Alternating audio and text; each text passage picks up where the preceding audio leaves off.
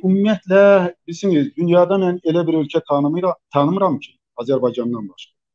Deyək ki, uşaq pulu verilməsin. İndi fərqli-fərqli deyək ki, məbləğdə verirlər. Yaş fərqini nəzərə alırlar. Ancaq ümumilikdə demək olar ki, e, əksər ölkələrdə uşaq pulu verilir və Azərbaycan müstəqil əl, müstəqillik əldə etdikdən sonra yəqin xatırlayırsınız, rəhmətli Əbülfəz Elçi bəyin vaxtından uşaq pulu verilir. Uşaq pulu uşaqların konstitusion haqqıdır, hüququdur. Yəni konstitusiyada da nəzərdə alınır, nəzərə alınır. E, hökumət e, uşaqlara e, sanki bir e, e, müavinət verməklə onların deyək ki, sosial durumunun yaxşılaşdırılması istiqamətində müəyyən siyasət müəyyən addımlar atır. E, söhbət normal hakimiyyətlərdən gedir, normal hökumətdən gedir. Azərbaycanda təəssüflər olsun ki, deməli Azərbaycanın çətin vaxtında uşaq pulu verildiyi halda Azərbaycanın neftdən gələn gəlirləri artan bir dövrdə 2006-cı ildə ildə iyun ayında, yəni bilirsiniz ki, iyunun e, ilk günü uşaqlar günüdür və iyun ayında 2006-cı ilin iyun ayından Azərbaycanda uşaq verilir. Yəni hökumət bunu heç nə ilə əsaslandıra bilmir. Niyə uşaq pulu vermir? Uşaq pulu o vaxt deyək ki, bunlar əsas gətirə bilər ki, ölkənin vəsaiti yoxdur.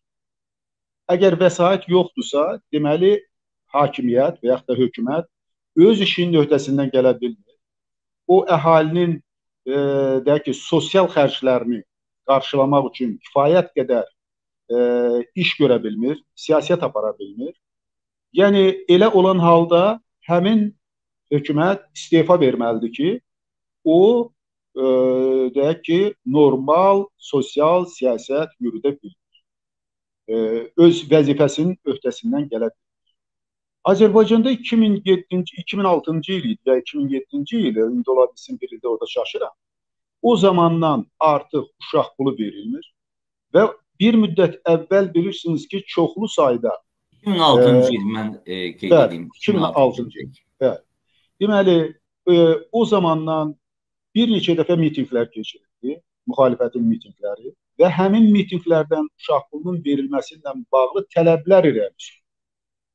Yəni tələblər səslənir. Hökumət elə bilin ki, bu tələbləri eşitmir və yaxud da mövcud olan durumu, vəziyyəti dəyərləndirə bilmir. Sonra sosial şəbəkələrdə tamamilə düz deyirsən.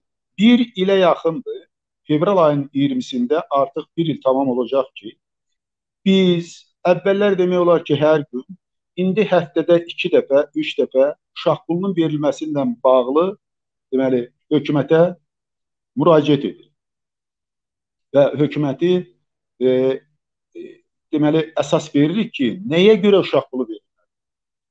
Azərbaycanda siz çox düzgün vurğuladınız ki, 10 nəfərdən 9-unun vəziyyəti bir o qədər də yaxşı deyil. Yəni sosial durumu yaxşı deyil e, biz hətta biraz da aşağı göstərdik. Yəni hesab edirik ki, 50 faizi ümumiyyətlə ölkədə işsizdir, əmək qabiliyyətli əhalinin 50 faizi işsizdir və bunların əksəriyyəti yoxsuldur, kasıbdır.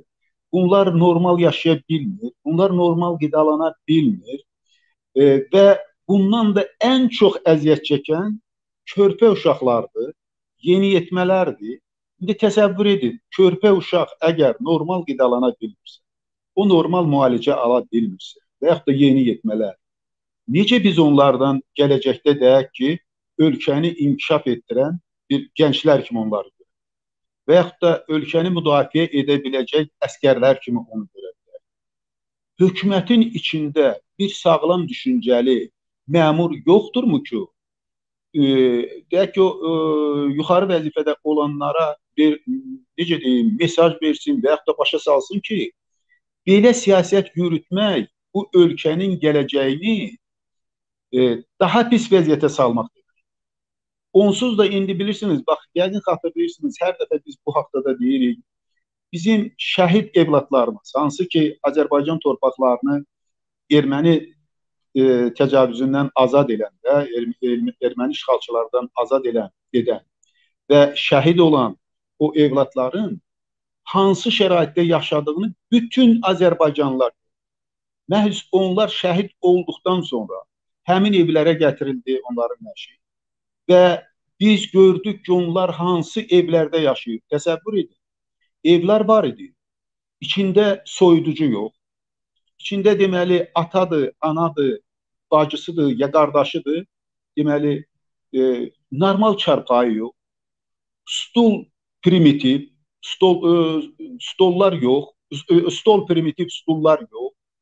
Biabırçılıq, yəqin xatırlayırsınız. Evlərə deməli e, o bağlamalar göndərdilər, içində ət, nə bilim ondan sonra kartof, soğan belə və o bağlamanı gətirən adamlar deməli e, çəkiliş edirdilər ki, onlar o e, bəlkə qidanı çatdırdı həmin o şəhidlərin evinə, əskərlərin evinə və orada elə bir mənzərə idi ki, ürək ağrıdı. Azərbaycan bilirsiniz 100 milyardlarla dollar son bir neçə ildə neft gəlirindən e, qazanc əldə edən, gəlir əldə edən bir ölkə 21-ci əsrdə əhalinin çoxlu sayda əhali. Mən e, inandırıram sizi ki, indi o rəqəmi heç ölkədə heç kim deyə bilməz. Ona görə ki, xüsusi araşdırma aparmaq lazımdır. E, kəndlərə getmək lazımdır, rayonlarda şəhərdə olmaq lazımdır. O evlərə, e, yəni bir-bir gedib onların o vəziyyətini e, necə deyim, onu təsvir etmək, etmək lazımdır ki, və bunları saymaq lazımdır. Ölkədə çoxlu sayda, çoxlu sayda elə adamlar var ki, onların evində dediyim kimi soyuducu yoxdur. Soyuducu yoxdursa, bu e, deməli produkt da yoxdur, ərzaq da yoxdur və dediyim kimi stol yoxdur. Stullar yoxdur. Yəni bax belə bir şəraitdə evlad böyüyür. Körpə uşaqlar böyüyür və onlar sağlam böyüyə bilməz əlbəttə. Əgər o evdə maliyyə çatışmazlığı varsa, əgər o evdə qida çatışmazlığı varsa, əgər o evdə antisanitariya varsa, yəni bu açıq aydın görünür. Orada normal uşaq böyütmək mümkün deyil. Və heç də hakimiyyət nümayəndələri, ya ki, hökumət nümayəndələri və hakimiyyət nümayəndələri həmin ailə başçısını suçlamasın. Bilirsiniz, heç də hamıya elə bacarıq verilməyib ki, o hardansa oğurlasın, hardasa gedib biznes qura bilsin, hardasa işləyib ailəsini dolandıra bilsin. Həmişə belə olub, hər yerdə belə. Elə adamlar var ki, onlar üçün iş yeri açmaq lazım. Onlar e, məhz e, kimsə iş yeri açarsa, onları dəvət edərsə, onlar orada işləyib əmək haqqı alar, ailəsini dolandıra bilər. Bax, kifayət qədər belə çoxlu sayda adamlar var. Hamının biznes qabiliyyəti olmur. Hamı alim ola bilmir. Hamı deyək ki, e, siyasətçi ola bilmir, dövlət məmuru ola bilmir. Yəni hökumət bunu nəzərə almalı. Və elə insanlar var ki, onlar müəyyən deyək ki, bir fəhlə kimi mi deyim və yaxud da hər hansı bir funksiyanı yerinə yetirəcək e, bir işçi kimi deyim, fəaliyyət göstərməlidir. Və bunu kim təşkil etməlidir? Onların deyək ki, işlə təmin olunmasını kim təşkil etməlidir? onların işlə təmin olmasını hakimiyyət təşkil, təşkil etməlidir. Necə? Ölkədə biznes mühit yaratmalı. Ölkədə normal mühit yaratmalıdır ki, istənilən o biznes qurmaq qabiliyyətində olan insanlar biznes qursunlar və həmin adamları işə cəlb etsinlər, onlara əmək haqqı versinlər, onlar da öz sosial problemlərini həll edə bilsinlər, normal ev e, e, deyək ki, e, yaşa normal evdə yaşamaq üçün ev alsınlar, mənzil alsınlar və yaxud da e, mənzilin e, tikilməsini e, həyata keçirsinlər. Normal ölkədə belə olmalı. Bunlar bir tərəfdən dediyim kimi, ölkədə yaşayan əhalinin, əmək qabiliyyətli əhalinin yarısını işsiz qoyublar. Digər tərəfdən ölkədə kifayət qədər çoxlu sayda adamlar var ki, onlar biznes yarada bilərlər. Onlar yeni iş yeri aça bilərlər. Onlar deyək ki, e, digər adamları işə cəlb edib, onların e, o sosial problemlərini həll edə bilərlər. Onlara da imkan vermirlər. Onlara da imkan vermirlər ki, yeni iş yerləri. Bu formada necə deyək ki, düşünmək olar ki, bu ə, bu qədər sayda insanlar bu ölkə üçün, deyək ki, ölkənin gələcəyi üçün təhlükə deyil. İndi onlar özləri pis durumdadır. Ancaq bu deməkdir ki, onlar o ə, gələcəkdə onların ailəsində xəstələrin sayı artacaq. Bəli. Və bu xəstəliklər həm də yayılacaq.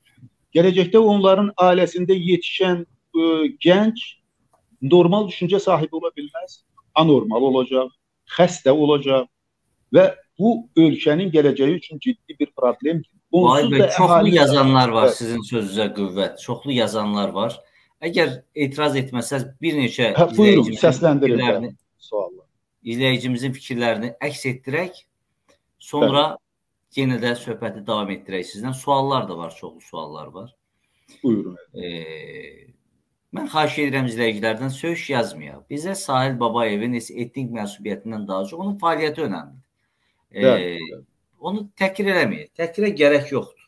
Zaten insan öz fəaliyyəti ilə özünün e, fərdi e, dünyasına da, ailəsinə də ya başucalıq gətirə bilər, ya da e, bu şəkildə yanaşmadır. Mən çox xahiş edirəm. Mövqeyimizi yazaq. E, nə istəyirsiniz?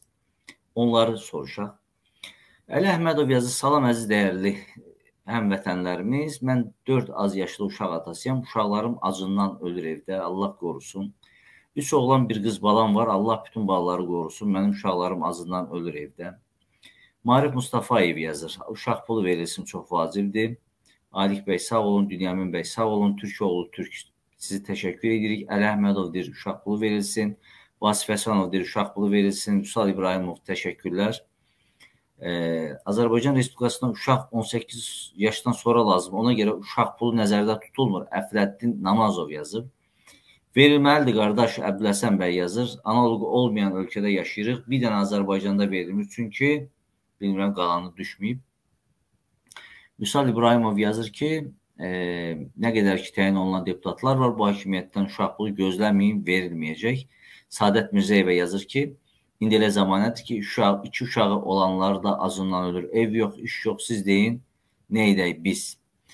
Dilbər xanım deyir, inanın ki, elə ailələr var, uşaqlar acından yaman gündədirlər. Allah bəlalarını versin, büdcəni dağıdırlar, az yesinlər, zəhərləri olsun, uşaq pulu versinlər. E, Rafiq Mürsəlov, xaladeniki satıram, çünki ora qoymağa heç nə yoxdur. Yəni, bu, bu əslində soyduzudan söhbət gedir. Bu hər cəmiyyətdə, hər ailənin e, o istehlak səbəti vardı. Soyduzunu açanda o ailənin həyat durumu göz önündədir.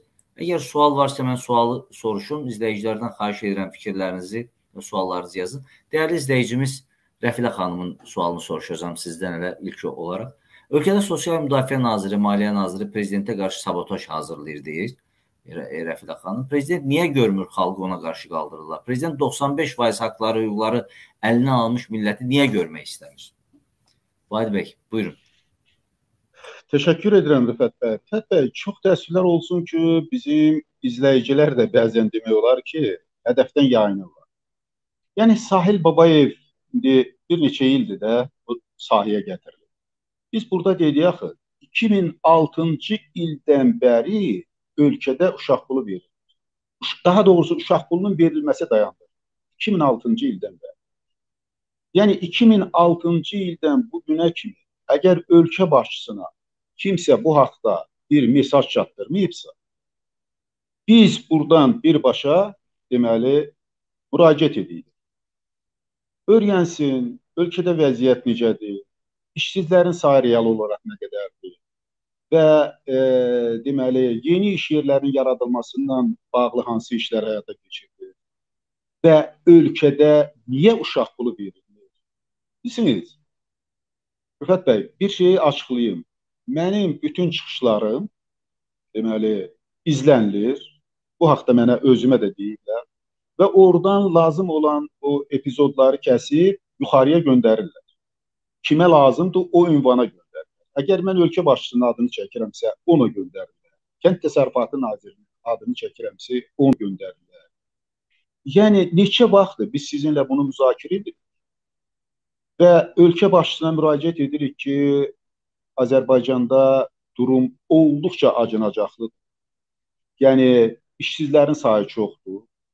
kasıbçılıq, e, demək olar ki, yoxsulluq yüksək səviyyədədir və bundan da ən çox əziyyət çəkən uşaqlar. Bax bu haqda deyil. Ölkə başçısı yəqin xat, e, deməli o şəkilləri görmüşdü. E, Azərbaycan torpaqlarını azad edən zaman şəhid olan bizim evladların hansı şəraitdə yaşadığını. Bu fotolar bütün ölkəni, nəinki ölkəni, dünya ölkələrində yayılmışdı. Avropa ölkələrində yayılmışdı. Bizim Avropada yaşayan e, deməli e, soydaşlarımız onu yaymışdı. Necə olur? Azərbaycanda 90% demək olar ki, bunu görür. Prezident aparatında bunu görürlər. Ola bilərmi? Bilirsiniz, mən istəyirəm həm bizim deyək ki, bizi izləyənlərin yanaşması düzgün olsun və biz o sualı düzgün istiqamətə yönəldə bilərik. Azərbaycanda uşaq pulunun verilməməsi və yaxud da verilməsi bir şəxsdən asılıdır, ölkə başçısı. Bu gün ölkə başçısı əgər tapşırıq versə ki, uşaq pulu verilsin, hər uşağa 100 manat ayda uşaq pulu verilsin və burada e, ayrı seçkilik də yaratmağa ehtiyac yoxdur. Hansı məmur, məmurların əksəriyyəti bilirsiniz ki, rüşvətxorluqla məşğuldur, korrupsiyadan məşğuldur. Onların heç bir problemi yoxdur onların e, demək olar ki, xarici ölkələrdə də villaları, ondan sonra e, ticarət obyektləri, e, mehmanxanaları, yəni e, istənilən qədər daşınmaz əmlakları var, hətta daşınan əmlaklar var. Ola bilsin onların nəvələrinin uşaq puluna ehtiyacı yoxdur. Ola bilsin bəzilərinin uşaqlarının uşaq puluna ehtiyacı yoxdur. Onlar imtina edə bilərlər. Ölkədə 2 milyon 500 min uşaq var ki, e, deməli 18 yaşınadır onların hamısına uşaq pulu verilməlidir. Və biz o rəqəmi demişdik. Təxminən 3 milyon 500 min, e, üzr istəyirəm, 3 milyard 500 milyon manat vəsaitə ehtiyac var və Azərbaycan üçün bu elə bir böyük rəqəm